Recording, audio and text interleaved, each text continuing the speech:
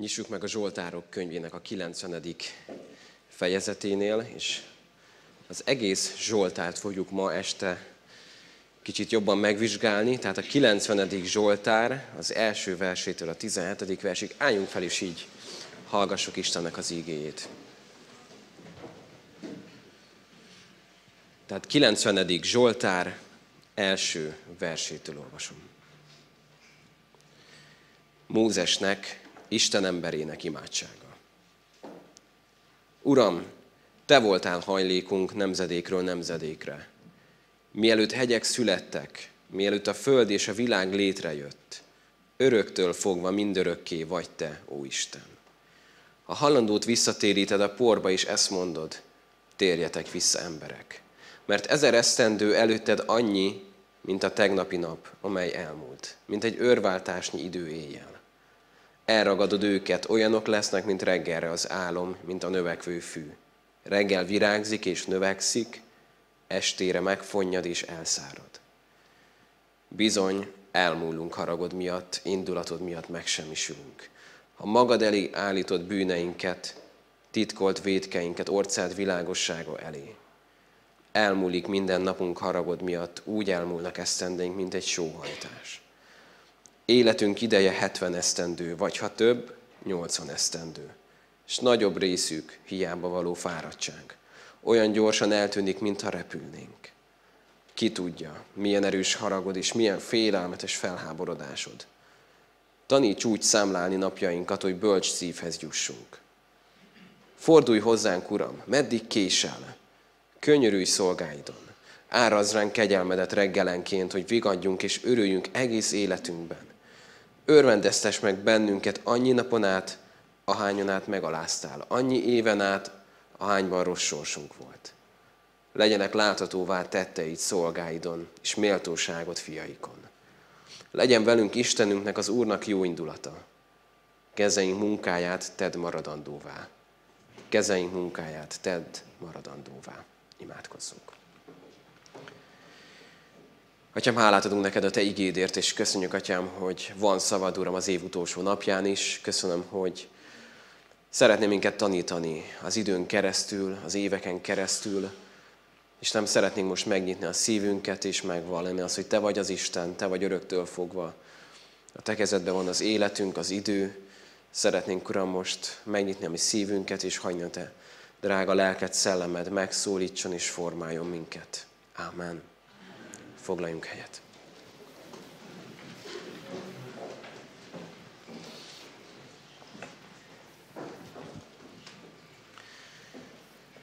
Nem beszéltünk össze Józsival, de én felírtam a jegyzetembe, hogy mielőtt az alapigét felolvasom, mindenképp el ne felejtsem elmondani a Róma 8.28-at, hogy akik Istent szeretik azoknak, minden a javukra van. És hát Józsival nem beszéltünk össze, de az Úr úgy látszik mindkettőnkkel összebeszélt. Olyan jó ezt az igét meglátni, ahogyan hallottuk ebben az énekben is, hogy minden, minden a javamra volt, minden a javamra van. Hogyha Isten szeretem, akkor úgy tudok visszanézni az elmúlt évre, hogy tudom azt, hogy bármi, ami történt, bármi, minden öröm, minden nehézség, minden győzelem, minden kudarc, minden körülmény, az Isten tudja azt, hogy a javunkra formálni.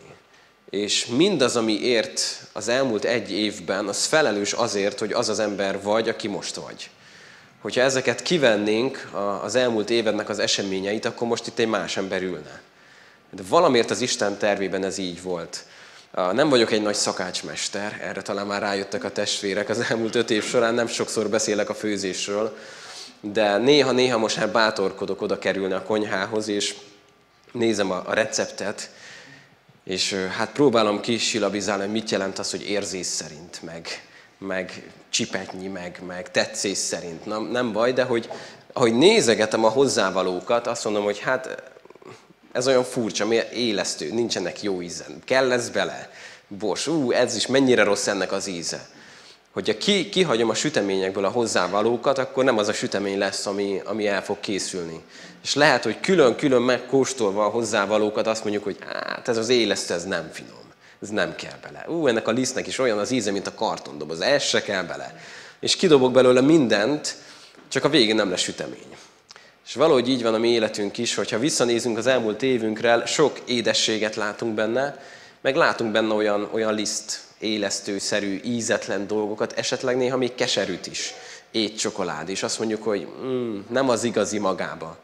De az Isten, ahogy készíti az életünket, ezeknek ott van sokszor benne a helyük. Úgyhogy szeretném, hogy a tudnánk most ezt, erre az ígére úgy nézni, azt a címet írtam, hogy ideje lapozni.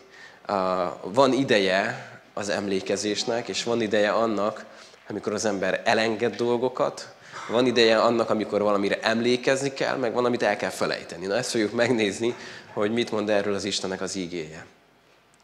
Amikor visszanézünk, még mielőtt az ígére térnék, hadd mondjam el, hogy Isten nélkül nagyon félelmetes dolog vissza és előre tekinteni. Hogyha Isten nélkül nézek vissza, akkor lehet, hogy tele leszek kudarcokkal, lehet, hogy tele leszek rossz érzésekkel is, és, és keserűség lesz bennem, vagy elégedetlenség, vagy éppen beképzeltség, hogy mennyire jó volt ez az év, és mennyire ügyes voltam. Ha Isten nélkül nézek előre az ismeretlenbe, az megint félelmetes lesz. Úgyhogy hadd mondjam azt, hogy amikor, mint az autó néha vissza pillantóban nézünk, hogy előrefele tudjunk menni, ne egyedül tegyük meg ezt a pillantást. Az Isten nélkül ez nagyon félelmetes tud lenni, mert a múlt is már homályos, a jövő az meg pláne az, és ahhoz, hogy előre tudjunk haladni, időnként az ember bele kell, hogy nézzen a tükörbe, és hátra nézni. És olyan jó látni, amikor, amikor visszanézek, és látom, hogy honnan jöttem. Látom, hogy mi van mögöttem. Hogy, hogy megtettem ezt az utat, és átkeltem ezen a hegyen. Vagy, vagy épp egy veszélyes útszakasz már mögöttem van. És hogy belenézünk a tükörbe, így az évnek a végén az Isten szeretne a szívünkkel beszélni. Tehát itt nézzük az időt, és amikor visszatekintünk, azt mondja Mózes, azzal kezdi, hogy Uram, Te voltál a hajlékunk nemzedékről nemzedékre. Ezzel kezdi, hogy mielőtt a hegyek születtek, mielőtt a föld és a világ létrejött, öröktől fogva mindörökké vagy Te, ó Isten. Mózes kicsit úgy a szívébe helyre rakja az arányokat. Azt mondja, hogy nemzedékről nemzedékre az Isten ugyanaz. Mielőtt ezek a hegyek, mielőtt ezek a monstrumok, amiket mi nem bírunk megmászni, ezek létrejöttek volna, az Isten már ezek előtt nem létrejött, hanem mindöröktől fogva mindörökké van. Ő a vagyok Istene. Ő a létezés. Ő a minden. Ő, ő nem az időben él, mint mi. Az idő engedelmeskedik neki. És ahogy a Mózes ezt elmondja, kicsit úgy, úgy helyzetbe hozza magát Istenhez képest, hogy ez az Isten, aki mindöröktől fogva örökké van. Aki, aki nem, nincs az idő korlátjai alá szorítva, mint mi emberek. És hogy mi visszatekintünk a múltba, ez tud egy veszélyes dolog lenni. Tapasztaltuk azt, hogy sokszor kiszépül a múlt. A kisfiammal, hogy beszélgettünk karácsonykor, kérdezte tőlem, hogy miért nem lesz fehér karácsony, mert hallotta a kocsiban, a rádióban, hogy nem lesz fehér karácsony. Hát, és én mondtam neki, hogy hát, tudod, fiacskám, e, most nagyon változnak az idők, amikor én még gyerek voltam, akkor mindig fehér karácsony volt. És ezen gondolkodtam, hogy tényleg mindig fehér karácsony volt? Mert az emlékeimben mindig fehér volt a karácsony. Tehát mindig nagy hó volt, szánkóval mentünk át a családhoz, stb. Tehát mindig fehér karácsony volt. És uh, egy másik barátommal is pont erről beszélgettünk, hogy ő is úgy emlékszik, hogy mennyivel több hó volt, és mindig minden milyen jó volt, Eldöntöttem, egy kicsit utána nézek, és megelőzött egy Kovács Győző nevű meteorológus, aki arra szánta magát, hogy az elmúlt 50 évben megnézte, hogy tényleg mennyiszer volt fehér karácsony. Kiválasztott egy települést, ha jól emlékszek, Veszprém, Székesfehérvár térségét, és az 1960-as évektől kezdve megnézte, hogy hányszor volt fehér karácsony. Hát erre jutott, 1963-ban 30 cm-es hó volt. Tehát azt mondhatnánk, hogy na, már rég láttunk ilyet, majd legközelebb 1969-ben volt hó karácsonykor, tehát 6 év múlva. 1970-ben esett 5 centi friss hó karácsonykor, de legközelebb csak 1978-ban esett 1 cm hó. Aztán 1981-ben volt 10 centi, és legközelebb csak 86-ban 1 centi. Tehát arra jutott, hogy 10 évente kétszer volt fehér karácsony az elmúlt 50 évben, Magyarországon bizonyára vannak olyan területek, ahol kicsit máshogy történt, de ez az átlag. És én is visszagondoltam, hogy hát igen, az a fehér karácsony, ami eszembe jut, az, az két év. Egyik meg másikra nagyon emlékszek, de mindig olyan szép volt a karácsony, mindig olyan szép fehér volt minden. Sokszor kiszépül sok minden. És ez nem baj feltétlen. Az nem baj, hogy a múltunk meg tud néha szépülni, és úgy tudunk emlékezni. De szeretném, hogy nem csak így tudnánk visszaemlékezni, hogy, hogy csak a szép dolgokat látni, hanem látni az egész évet úgy, úgy valójában. És megnézzük, hogy mi ennek az értelme. Hadd idézzek először Széchenyi Istvántól, azt írta, hogy ha tudni akarod, hogy egy nemzet mennyire becsüli a múltját, nézd meg a temetőit. Tiszteld a múltat, hogy érthessd a jelent, és munkálkodhass a jövőn. Mély gondolatokat érint a mi fel, egyik felmenünk államférfink, ahogy azt mondta, hogy ha tudni akarod, hogy egy nemzet mennyire becsüli a múltját, akkor nézd meg a temetőit. Nagyon-nagyon fontos látnunk azt, hogy honnan jövünk mi emberek, honnan jövök én, honnan jöttem. És az, ami gyerekkortól kezdve az elmúlt években is megtörtént velem, az mind hatással van ránk. És ezért megvan annak a, a szerepe, amikor az ember megáll, és hátra nézek, hogy mi történt velem. Miket engedett meg az Isten az életemben? Milyen magaslatokon járatott, milyen mélységekbe engedett bele az elmúlt évbe. De hadd hozzak most két igeverset, ami egy kicsit összezavarhatna minket. Az egyik igét a Mózes második könyvéből szeretném olvasni. Azt mondja az Úr, tartsátok emlékezetben ezt a napot, és ünnepeljétek meg az Úrnak nemzedékről nemzedékre. Örök rendelkezés ez, hogy megünnepeljétek. Majd azt olvassuk a Filippi 3-ba, Pálapostól azt mondja, egyet teszek, elfelejtem azt, ami már mögöttem van, és teljes erővel igyekszem előre. Na most a Biblia ellentmond önmagának. Nyilván nem erről van szó. Különböző helyzetek vannak. Vannak olyan helyzetek, amikor azt mondja az Úr, hogy tartsatok emlékezést, mert sok mindenre emlékezni kell. Sőt, azt mondja az Úrot, hogy tanítsa az egyik nemzedék a másikat, és évről évre újra és újra mondjátok el fiaitoknak, gyermekeiteknek, unokáitoknak, akik már nem élték át feltétlen azokat a dolgokat, amiket ti átéltetek, hogy ezek hogy történtek is. Emlékezzetek, emlékeztessétek magatokat mindezekre. És megvan a szerepe annak, amit Pálapostól mond, hogy egyet teszek, elfelejtem azt, ami már mögöttem van. És teljes erővel igyekszem előre.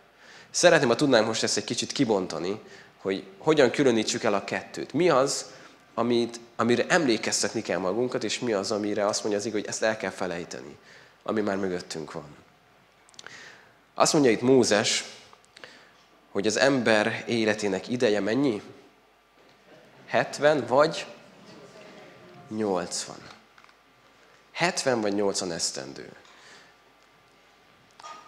70 vagy 80 esztendő. Ez olyan, olyan sokkolóan hat ránk, nem? Tehát, hogy az ember már saját éveit számolja, de talán van itt olyan közöttünk, aki a 80, nem csak hogy a 70 év felett van, már a 80 év felett is, akkor azt mondhatjuk, hogy minden nap kegyelem. Minden nap kegyelem az életünkbe. Képzeljük el, hogyha 70 másodpercünk lenne arra, hogy egy repülővel minél magasabbra menjünk. Mit tennénk? Nulla másodperc, hát még nem indult el a stopper, ülök a kifutó pályán, látom, hogy elindul a számlálás, mi lenne az első dolgom? Minél gyorsabban, nem? Minél gyorsabban teljes gáz, padlógáz, hadd repüljön és felhúzni és menni, menni, menni felfele, mert az a cél, hogy minél feljebb kerüljek, mennyire ostobának nézének engem, hogyha a 30. másodpercnél még ülök a kifutópályán, kortyolgatom a kávét, nézegetem a naplementét, mosom a repülőmnek az oldalát, nézem a keréknyomást, és azon gondolkodok, hogy na még van 30 alány másodpercem, na lassan el kellene indulni, mert én nagyon magasra akarok menni, és majd hát most egy kicsit még itt időzök itt az apróságokkal, meg egy kicsit még szeretném a, a pilóta ülést kényelmesebbé tenni, szeretném, hogyha, hogyha ez az utazás ez jobb lenne, szeretnék, nem tudom micsoda 5.1-es hangrendszert kiépíteni, hogy amikor megyek a repülővel, akkor, akkor jó legyen, legyen egy kis okos telefon, tartom, ahol tartom majd a telefont, hogy lássam a Facebookot, vagy mindent, és akkor elmegy erre az idő, és akkor a végén ott vagyok, hogy 10 másodpercem maradt a 70-ből, na és akkor beülök a repülőbe, elindulok, hogy akkor na most akkor menjünk minél magasabbra. Nyilván ez egy ostoba hozzáállás lenne, nem? Mert azt mondanánk, hogy hát nem az a cél, hogy most kényelmesen éld ezt a 70 másodpercet át, hanem hogy minél magasabbra repülj a repülőddel. Most, hogy a, másodperceket átszámítjuk évekbe, és azt mondom, hogy 70 éved van, jó esetben 80. Van, akinek hét, van akinek 77, nem tudjuk. Tehát van egy átlagos évmennyiség, ami, ami úgy átlagosan mondható az emberre. Mivel fogom tölteni az első 20-at, az első 30-at, az első 40-et? Azon gondolkodok majd, hogy na majd a 65-ösnél akkor beülök a repülőbe, és akkor tegyük azt, ami a lényeg, hogy menjünk felfele, hogy azt mondom, hogy nyilván annál feljebb fogok menni, minél hamarabb elkezdem. Minek pazarolnám az időmet, az éveimet arra, hogy, hogy suvickoljam az ablakot, amikor nem ez a lényeg. Amikor az a lényeg, hogy minél magasabbra menjünk a repülővel. És valahogy így vagyunk mi emberek, hogy olyan sok időt el tudunk tölteni azzal, hogy kényelmesen üljünk, hogy szépre csiszoljuk az ablakot, hogy kényelmes legyen a hangrendszer, a kilátás, ne nyomja az oldalamat itt a katapult gomb, meg stb. Pedig arról lenne szó, hogy repülni kéne magasra. És uh, sokszor erre már csak az életünk végén jövünk rá. 70-80 esztendő végén az Isten azt a kegyelmet, ezt kegyelemnek nevezem, meg, megengedte nekem, hogy sokszor beszélgethettem emberekkel az utolsó órákban. Senki se panaszkodott az ablak miatt, hogy, hogy koszos, vagy hogy nem szólt jól az a hangfal, vagy hogy kényelmetlen volt az ülés. Ami, ami előjött inkább az, hogy, hogy elpazaroltam ezt a 70 évemet, azzal, hogy a repülőmet díszítgettem, ami, ami lezuhan, ami nem marad meg, mert én kikerülök ebből a gépből, és amúgy is már egy ósdi, már szétment, vagy, vagy azzal töltöttem ezeket az éveket, hogy repültem felfele az Isten felé. Hadd hozok egy másik példát. Képzeljük el, hogy kisorsolnak téged egy, egy, egy valamilyen játékban, és azt mondják, hogy holnaptól kezdve a bankszámládra minden egyes nap 86.400 dollárt fognak utalni. Jól indulna az éved? Jó, minden egyes reggel megérkezik ez a 86.400 dollár a számládra, azzal az egy feltétellel, hogy azt elköltheted az egész nap, amit nem költesz belőle estig, azt lenullázzák. De másnap reggel megint megkapod a 86.400 dollárodat. Uh, nyilván azon lennél, hogy hogyan tudnám akkor ezt jól beosztani, hogyan tudnám befektetni, hogyan tudnám megtenni, hogy a lehető legbölcsebben költsem el ezt a pénzt, mert le kell nullázzam, különben elveszik tőlem, de holnap reggel újra kezdhetem. Minden egyes nap 86.400 másodpercünk áll rendelkezésre, amit adott nekünk az Isten arra, hogy fektest be. Nem tudjuk átvinni másik napra, nem tudjuk félretenni majd, majd következő évekre. Amit, amit nem fektettél be, a napodból, az este le lesz nullázva. Holnap indul az új 86.400 másodperced, de, de mivel töltjük, mire, mire fektetjük be? És amikor visszatekintünk az elmúlt időre, az elmúlt egy évünkre, akkor, akkor szeretném, hogy tudnánk visszatekinteni azért, hogy tudjunk okulni belőle. Azt mondja Mózes, hogy taníts minket úgy számlálni a napjainkat, hogy bölcs szívhez jussunk. Hadd hozzak egy, egy másik igét, az 1 Mózes 41-51-ben azt olvassuk Józsefről. Első szülöttjét Manassénak nevezte el József, mert ezt mondta, elfeledtette velem Isten minden gyötrelmemet, és atyámnak egész házát. József, hogyha már hallottuk a nevét, ugye ő nagyon mély időszakokat járt át. Adott Isten neki egy álmot, hogy, hogy leborulnak előtte majd testvérei, és hamar a kútba találta magát, meg a börtönbe, és nagyon sok gyötrelmet élt át. És amikor az első gyermeke született, mikor Isten újra felemelte, és, és a Egyiptom magaslatain járatta, akkor azt mondja Mózes, hogy elnevezem az én gyermekemet Manassénak. Nagyon fontos volt abban a korban, hogy a név mit jelent. És azt mondta, azért nevezem Manassénak az első fiamat, mert elfeledtette velem Isten minden gyötrelmemet. Elfeledtette velem Isten minden gyötrelmemet. Tehát akárhányszor József kimondta azt, hogy Manassé, Manassé, gyere ide, Manassé, ragd le azt. Manassé, Manassé, meg nem erészelteni. Akárhányszor, tudom, hogy elég sokszor mondjuk ki a gyerek nevét, ugye? Akárhányszor kimondta, hogy Manassé, emlékeztette magát arra, hogy az Isten elfeledtette velem minden gyötrelmemet. Azt mondtam az előbb, hogy megnézzük azt, hogy mi az, amit el kell feledni.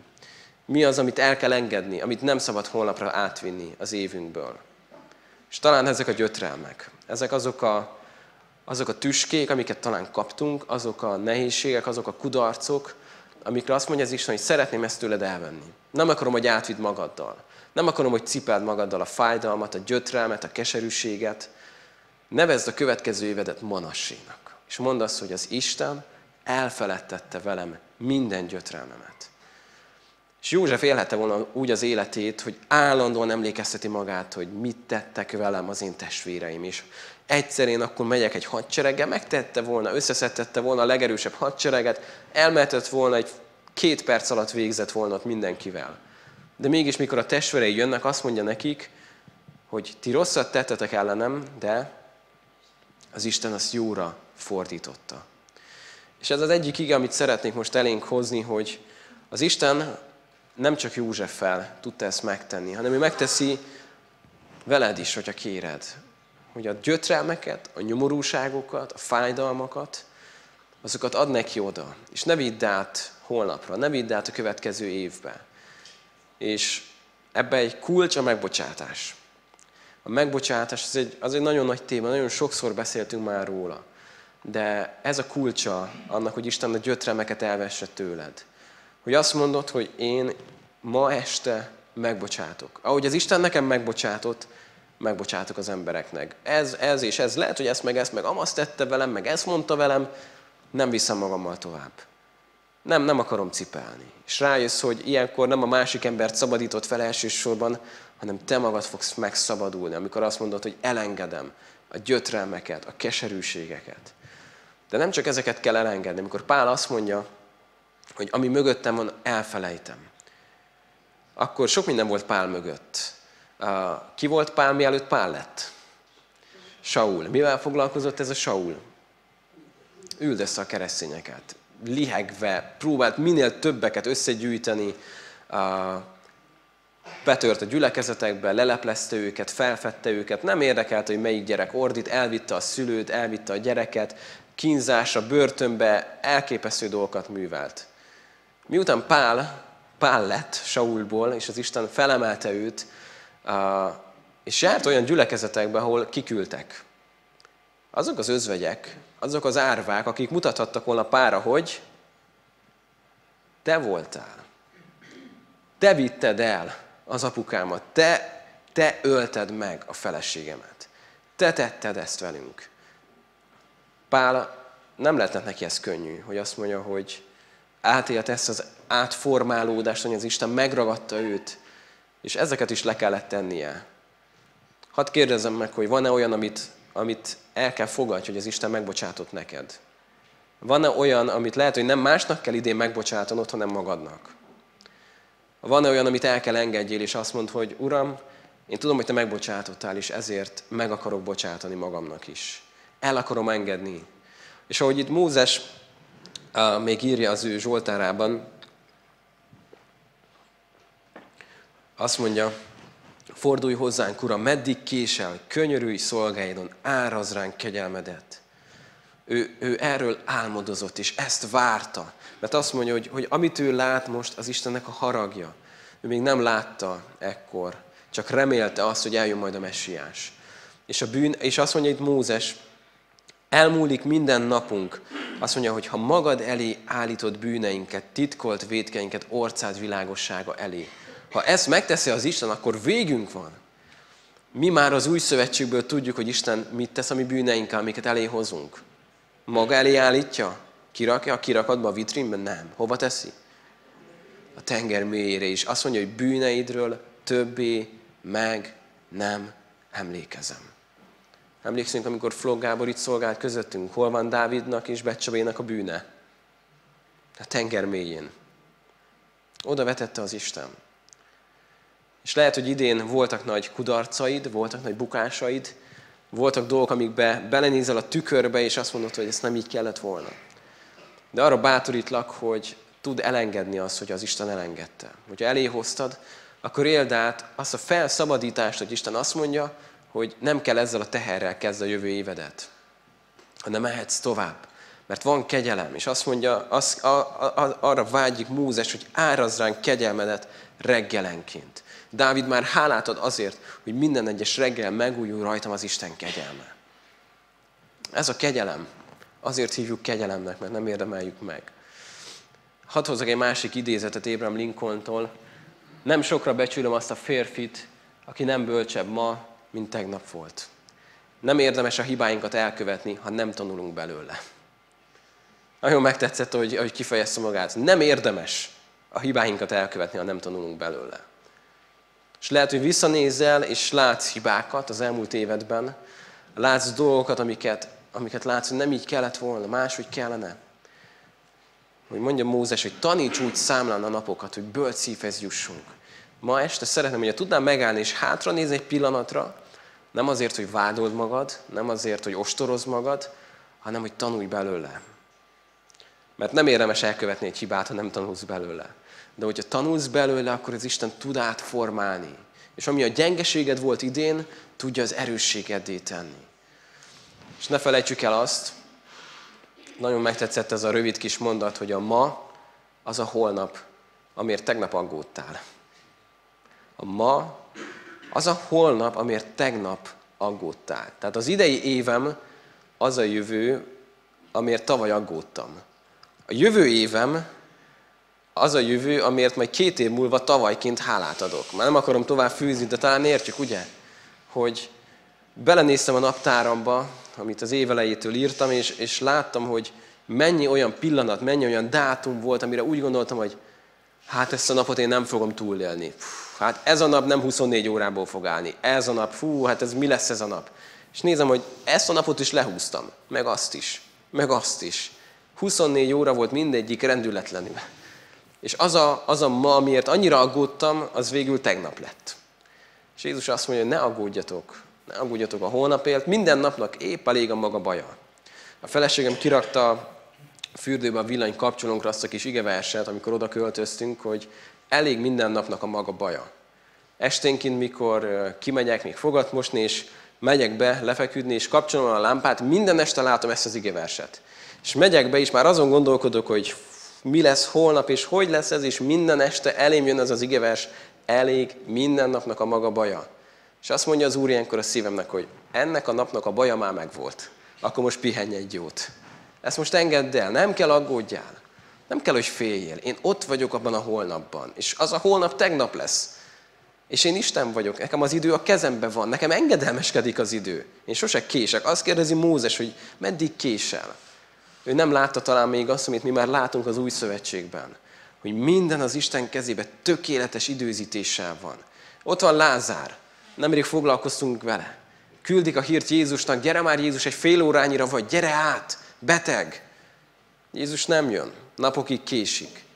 Aztán pont időben jön, és bebizonyítja, hogy nem csak arra van hatalma, hogy megakadályozza a halál beáltát, hanem ő az Isten a halál felett. Emlékszünk, hogy Mártát és Máriát túlvitte a határaikon. Annyi hitük volt, hogy Jézus meg tudja akadályozni a halált. De Jézus sokkal tovább vitte őket. És lehet, hogy visszatekintesz erre az évedre, azt mondod, hogy Uram, sokszor túlvittél a határaimon.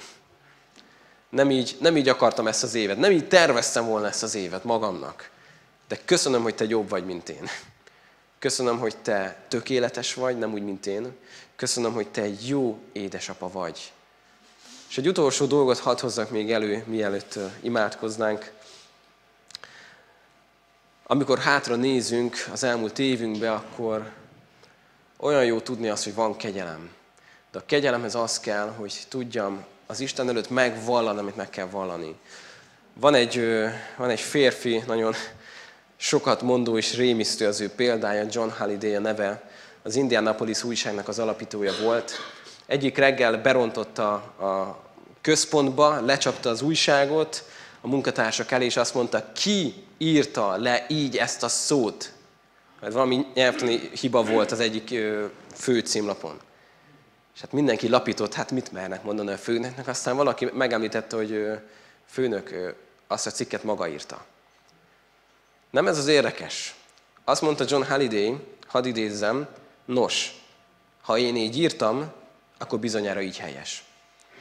És ez az újság, az Indianapolis újság 30 éven keresztül következetesen mindig hibásan írta le ezt a szót. 30 éven keresztül törvénybe volt adva minden újságírónak, ezt a szót így kell leírni. Olyan nehéz lett volna kimondani azt, hogy hibáztam. Bizony, néha nagyon nehéz kimondani. Néha nagyon nehéz ezt kimondani, és, és fogjuk mindenre, fogjuk a másikra, a szüleinkre, a kormányra, minden, mindenkire tudnánk mindent szórni, de El tudunk oda jutni, ahol eljutott Dávid, hogy védkeztem. Ellened Istenem védkeztem.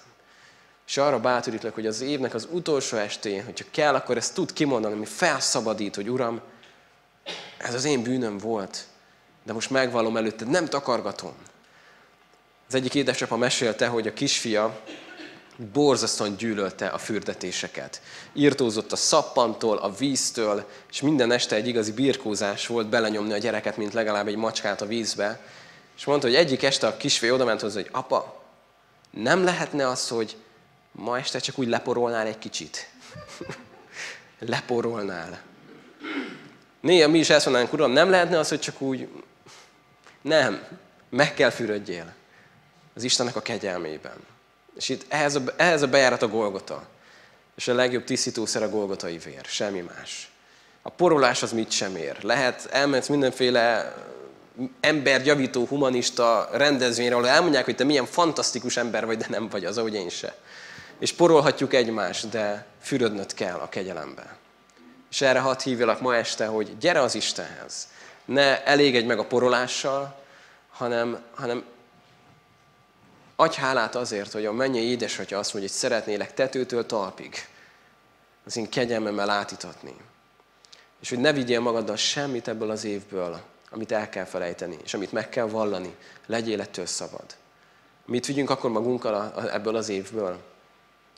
Hogy Izrael népe oltárokat állított, jelentős pillanatoknál is azt mondták, hogy mindeddig megsegített bennünket az Úr. Jó lenne ilyen hatalmas oltárokat néha magunkkal vinni, amikre tudjuk, hogy ez azért áll ez az oltár itt. Ez a darabkő azt jelenti, hogy mindeddig megsegített bennünket az Úr. Na ezt magunkkal kell vinni, ezt a felismerést, hogy mindeddig megsegített bennünket az Úr. Hadd mondjak ehhez még egy személyes példát. Ma, ahogy öltöztettem a kisfiamat, a hosszújú póló volt rajta, és egy pulóvert adtam rá, és kétségbe esetten jelezte, hogy ugye felgyűrődött a hosszújú póló, hogy az lenni szokott, és, és irritálja itt a kezét, és, és hát elég hisztérikusan sikerült neki ezt tudtomra adnia, hogy ez, ez borzasztóan idegesíti, és lehajoltam a fiamhoz, és a szemébe néztem, és azt kérdeztem, fiam, volt már egyszer is, hogy nem igazítottam meg a pólódat? Volt már egyszer is, hogy apa nem húzta ki? És nézem, hogy nem, mindig megteszed. Akkor mondom, akkor miért kell hisztizni? És ahogy ezt kimondtam, hogy Isten rám pirított, hogy hát ezt könnyen mondod ám a fiadnak, ugyanezt kérdezem tőled. Volt már egyszer is, hogy magadra hagytalak? Volt már egyetlen egyszer is, hogy nem számíthattál rám? Akkor miért kell hisztizni? Mondta nekem akkor az Úr, és a szívembe talált. Hogy annyiszor, de annyiszor megigazította már nekem azt a pólót. És jön egy újabb felgyűrődés, és kétségbe esek, hogy Istenem, most mi lesz? És az Úr rám néz, és azt mondja, minden nap megigazítom. Minden nap ott vagyok veled. Minden nap kihúzom a pólódat, egyetlen egyszer sem feledkeztem el rólad. Sőt, Isten odáig megy, hogy azt mondja a népének, hogyha még apád és anyád el is hagyna, vagy megfeledkezne rólad, én akkor se fogom ezt tenni. Egy ilyen Istenünk van. Magunkkal tudjuk vinni a következő évre ezt a felismerést, hogy az Isten mindig kihúzza a pólómat. Hogy az Isten minden nehéz helyzetembe Isten. Tudunk neki ma hálát adni ezért. Tudunk hátra nézni, és azt mondani, Uram, hogy bölcs szívvel szeretnénk a napokat számolni. És ha kell, akkor máshogy folytatni holnaptól. Ezért fogunk majd ma imádkozni. Először az énekkar szolgáltát kérjük.